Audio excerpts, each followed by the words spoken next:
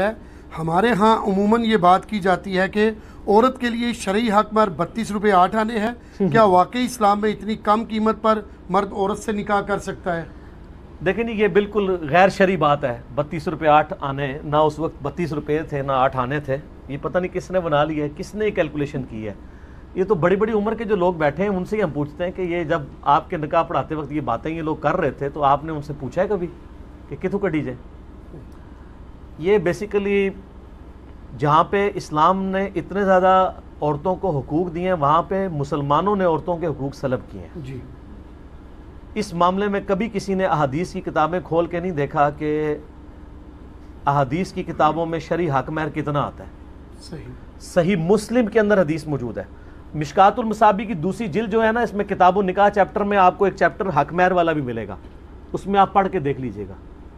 قرآن حکیم میں تو سورہ نساء میں کیٹاگوریکل آیا ہے کہ اگر تم لوگوں نے ڈھیروں سونا چاندی بھی اپنی بیوی کو دیا نا حق مہر میں، طلاق کے بعد واپس نہ لو، تو ڈھیروں سونا چاندی بھی آپ حق مہر میں دے سکتے ہیں۔ البتہ صحیح مسلم میں حدیث ہے کہ نبی صلی اللہ علیہ وآلہ وسلم نے ازواج متحرات کا جو حق مہر تھا نا، وہ کتنا رکھا تھا؟ وہ آپ دے ہی نہیں سکتے۔ وہ حق مہر تھا ساڑھے بارہ اوکیا چاندی۔ اور ایک اوکیا جو ہے اس میں چالیس درم ہوا کرتے تھے۔ یہ پانچ سو درم بنتے ہیں۔ پانچ سو درم۔ اور سن نبی داؤد ترمزی اور سن دارمی میں ملتا ہے کہ نبی علیہ السلام نے اپنی بیٹیوں کا حق مہر بھی یہی رکھا تھا۔ پانچ سو درم۔ پانچ سو درم میں آج آپ کو ذرا کیلکولیٹ کر کے بتاتا ہوں۔ نبی صلی اللہ علیہ وآلہ وسلم کے مبارک زمانے میں دو سو درم جو ہے، وہ ساڑھے باون تولے چاندی ہوا کرتی تھی، وہ جو نصاب ہے۔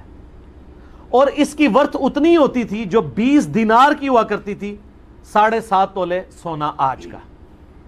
نبی صلی اللہ علیہ وآلہ وسلم کے مبارک زمانے میں دو کرنسیز چلتی تھی چاندی کی کرنسی کو کہتے تھے درہم اور سونے کو دینار۔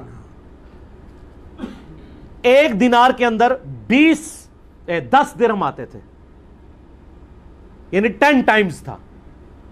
یعنی ایک سونے کا سکہ ہو تو دس آپ کو چاندی کے سکے ملتے تھے۔ بیس دینار ساڑھے سات تولے سونا ہوتا تھا۔ تو اس کے ایکویلنٹ دو سو درہم یعنی اس سے ٹین ٹائمز، ساڑھے باون تولے چاندی ہوا کرتی تھی، جو زکاة کا نصاب ہے۔ تو دو سو درہم ہو گیا، ساڑھے باون تولے چاندی یا ساڑھے سات تولے سونا۔ تو پانچ سو درہم کتنے تولہ سونا بنے گا؟ تقریباً انیس تولے۔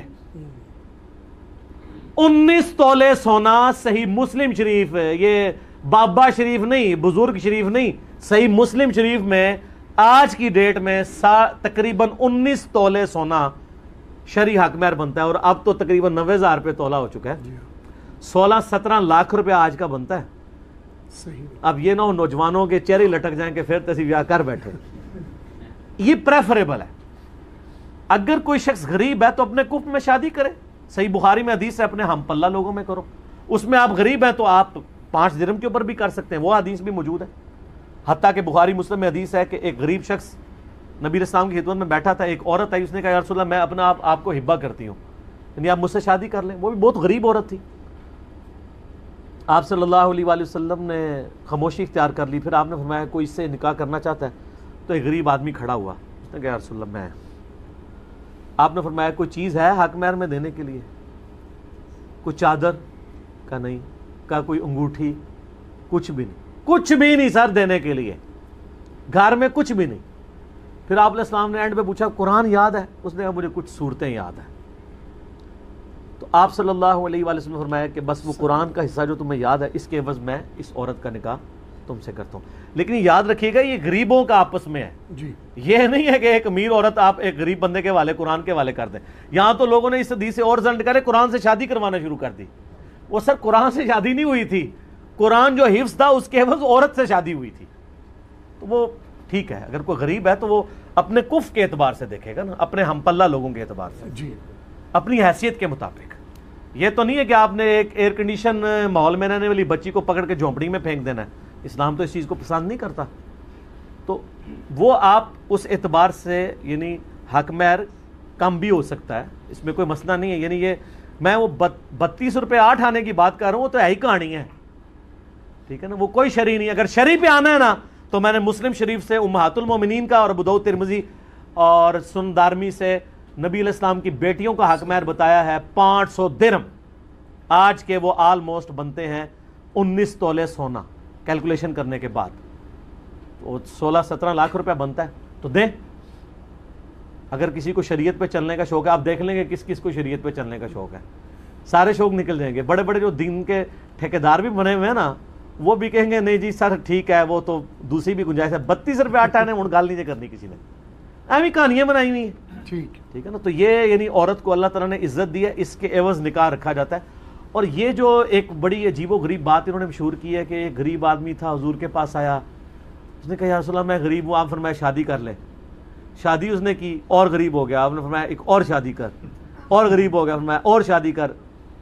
یہ کسی بیچارے کمارے نے گھڑی ہے کوئی حدیث ٹھیک ہے نا؟ چار شادیاں کی پھر وہ امیر ہو گیا۔ اس طرح کیسے کوئی امیر ہو سکتا ہے؟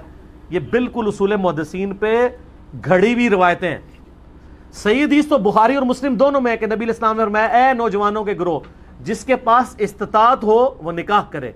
کیونکہ نکاح کرنا نگاہوں کی حفاظت کا اور تمہاری عفت اور عصمت کی حفاظت کا ذریعہ ہے۔ اور جو نکاح کی استطاعت نہ رکھتا ہو، وہ روزے رکھ کے اپنی شہوت کو ٹھنڈا کرے۔ تو یہاں استطاعت سے مراد فیملی کا خرچہ اٹھانے کی استطاعت ہے۔ اس کا مرد ہونا نہیں ہے، ورنہ مرد تو وہ پہلے ہی ہے، تبھی تو کہا جا رہا ہے روزے رکھ۔ تو کون سی استطاعت ہے؟ اگر اس میں اس یہاں استطاعت سے مراد لیا جا رہا ہے کہ اس کی وہ مردانگی، تو پھر تو یہ کہنے کی ضرورت ہی نہیں ہے۔ روزہ رکھ کے ٹھنڈا کر، اگر اس میں مردانگی نہیں ہے۔ یہاں استطاعت سے مراد کون سی استطاعت ہے کہ اس کے اندر یہ استطاعت ہو کہ وہ شخص خرچہ اٹھا سکتا ہو۔ اگر وہ خرچہ نہیں اٹھا سکتا، تو اس کو کوئی حق حاصل نہیں ہے۔ صحیح۔ کہ وہ شادی کرے اور وہ مصیبت ڈال دیتے ہیں۔ مطلب اپنے ماں باپ کو بھی دو خاندانوں میں الٹا مصیبتیں شروع ہو جاتی۔ ہیں لیکن اگر کسی کے ماں باپ فائنینشلی سٹرونگ ہیں اور وہ اپنی اولاد کے بعد کے خرچوں کو چلا سکتے ہیں جیسے جو لوگ نسل امیر چل رہے ہیں ادھر تو کوئی اور وجہ نہیں بننی چاہیے شادی لیٹ کرنے کی۔ اگر ہے تو فوراً اولاد کے حوالے کر کے ان کو سیٹل کروائیں اور ان کے یہ والے معاملات جو ہیں وہ تاکہ آگے اس لیول پہ نا نیگیٹیولی جائیں۔ جی۔ ٹھیک ہو گئے؟ جزاک اللہ